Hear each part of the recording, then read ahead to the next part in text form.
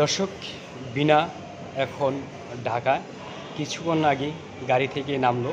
তাকে আমরা রিসিভ করে সিএনজি করে তার বাসার উদ্দেশ্যে পাঠিয়ে দেব আপনারা দেখতে থাকুন।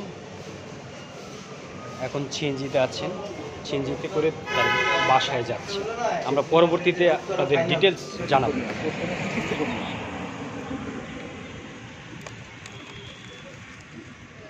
যে আসলে কি হয়েছিল সেখানে? না কারণ জানি জানি করছি না। আচ্ছা। আপনি আমাদেরকে একটু আংশিক বলেন যে আসলে আপনি চাঁদপুরে ছিলেন সেখান থেকে চট্টগ্রাম গিয়েছিলেন হ্যাঁ? তো আংশিক একটু বলেন আপনি আসলে ঢাকার উদ্দেশ্যে কখন রওনা দিলেন আর কখন এসে ঢাকা পৌঁছলেন রাত্রে বারোটার দিকে গাড়িতে উঠেছিলাম চট্টগ্রাম থেকে ঢাকার উদ্দেশ্যে আর কি আর এই তো কিছুক্ষণ আগে এসে পৌঁছলাম আর কি ঢাকাতে এক মিনিট একটু যেহেতু করেছি এই আপনারা এখন যে আসলেন চট্টগ্রাম থেকে যে ঢাকা আসলেন এত কষ্ট করে যে বাচ্চা প্রায় ক্লান্ত হয়ে গেছে হ্যাঁ, যদি- একটু। দর্শক আপনারা দেখতে পাচ্ছেন ক্যামেরার সামনে একটি বোন বসে আছে, তার নাম বিনা। ছোট্ট কুলের সন্তান নিয়ে, এখন বয়স হতো এক মাস দুই তিন দিন। এই সন্তানকে নিয়ে স্বামীর খুঁজে গিয়েছিলেন চাঁদপুরের শাহরাস্তিতে, সেখান থেকে চট্টগ্রাম। সেই চট্টগ্রাম থেকে এখন ঢাকা। কিছুক্ষণ আগেই ঢাকা এসেছেন চট্টগ্রাম থেকে। আমরা তুলে ধরবো তার ওখানে কি ঘটেছিল? কি অবস্থায় ছিল? স্বামীর খোঁজ পেয়েছে কিনা? সে সম্পর্কে আমরা তুলে ধরবো। দর্শক আপনারা আমাদের সঙ্গেই থাকুন দেখতে থাকুন। আচ্ছা আপা এই যে চট্টগ্রাম থেকে কখন রওনা দিয়েছিলেন আর কখন ঢাকা আসলে? আমি কালকে রাত বারোটার দিকে রওনা দিয়েছি চট্টগ্রাম থেকে ঢাকার উদ্দেশ্যে। আর একটু আগে সে পৌঁছালাম আর কি একটু যদি শর্টকাটে যদি আপনি এই আপডেটটা একটু বলেন কি অবস্থায় এখন আছেন? আপনাকে খুবই ক্লান্ত জার্নিং করে অনেকটা মানে টায়ার্ড আর কি। এখন আমি ওরকমভাবে কিছু বলতে পারব না কিন্তু অনেক ঘটনাই ঘটে গেছে ওখানে যেগুলো আমার বলতে হবে আচ্ছা আপু আপনি আমাদের দর্শকদের উদ্দেশ্যে একটু বলেন হালকা যতটুকু সম্ভব হয় মানে সামথিং যে শুধু জাস্ট এটুকুই বলতে পারি যে আমি আমার হাজবেন্ডের সাথে দেখা হয়েছিল আমার। হ্যাঁ। আর তারপরের যে ঘটনাগুলো এটা অনেকটা বড় তো তো হ্যাঁ। আমি আসলে অনেকটা জার্নিং করে টায়ার্ড হয়ে গেছি। এখন আসলে ওরকমভাবে আপনাদের কিছু বলতে পারতেছি না। আচ্ছা আমরা পরবর্তী সময়ে আপনার আপডেটগুলো পাবো ইনশাল্লাহ আশা করি। জি। প্রিয় দর্শক ঠিক আছে আপনারা আমাদের সাথে থাকুন এবং বিনার আপডেট পেতে আমাদের চ্যানেলটি ফলো রাখুন। ভালো থাকুন সুস্থ থাকুন আল্লাহ হাফেজ।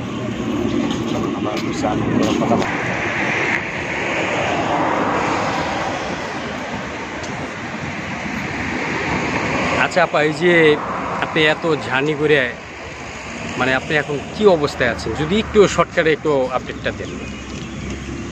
কি অবস্থায় বলতে তো বুঝতেই পারতেছেন যেহেতু আমি একা দেখতেছেন। তাহলে এটা তো বোঝা যাচ্ছে যে কি হয়েছে আর কি। আমি আমার একা চলে আসতে হলো আর কি। আমার স্বামীকে ওখানে রেখে আমার একা চলে আসতে হলো।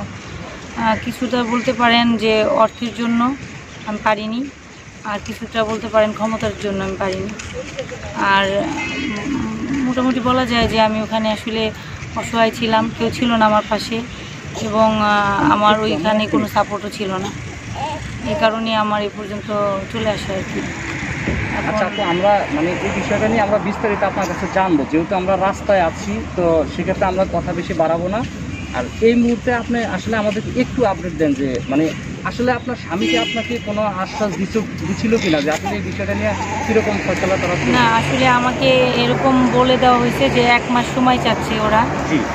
এক মাসের কথা বলা হয়েছে। কিন্তু আসলে আমি মনে করতেছি যে এক মাস ওরা সময় চাচ্ছে এই কারণে যেন আমি সময়টা চলে যায় ওদের সময়টা যেন ওরা না পায় বা আমার সময়গুলো যেন চলে যায়। আচ্ছা মানে এরকমভাবে ওরা ডেট দিচ্ছে আর কি। ঠিক আছে। জার্নিং তো ওরা ভালো দর্শক আপনারা দেখেন ছোট্ট একটি বাচ্চাকে নিয়ে কীভাবে রাস্তায় বসে আছেন বিনা। কি অবস্থায় আছে? দেখতে থাকুন। তার পুরো ঘটনাটি আমরা তুলে ধরব। আপনারা আমাদের চ্যানেলটি দেখতে থাকুন। দেখুন, ছোট্ট বাচ্চাটি খুবই ক্লান্ত ঝাড়নিতে এই পাঁচ দিনের বাচ্চাটাকে নিয়ে সেই স্বামীর খুঁজে চাঁদপুরে শাহরাস্তিতে গিয়েছিলেন। সেখান থেকে চট্টগ্রাম চট্টগ্রাম থেকে এই কিছুক্ষণ হলো ঢাকায় এসেছেন, কি অবস্থায় আছেন? আমরা বিস্তারিতভাবে সে বাসায় যাওয়ার পরে ফ্রেশ হওয়ার পর আমরা তুলে ধরব। আপনারা আমাদের চ্যানেলটি দেখতে থাকুন। দেখুন, কি ফুটফুটে একটি সন্তান। এই সন্তানকে রেখে কেমন বাবা? তাকে রেখে চলে গেল। চলুন দর্শক, দেখুন। এরকম একটি বাচ্চা রেখে কোনো বাবা তার সন্তানকে রেখে যেতে পারে। ছেলে সন্তান।